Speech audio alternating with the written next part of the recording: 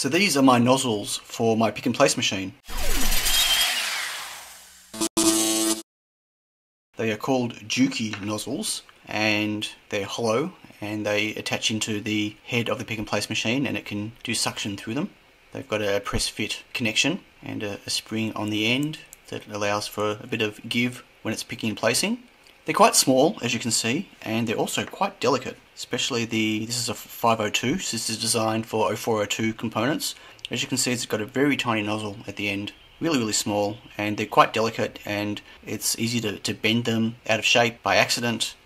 Some of them in here even got smaller nozzles. This is a 500, so it's even smaller again. So one of the problems with swapping these in and out on the pick and place machine is I swap them a lot when I'm building TinyPICOs and I need to, you know, be able to recognize them and, and getting a clear idea of what the numbers are on the sides. I mean, they're starting to wear out. It's quite hard to read these little numbers. It's a 502 there.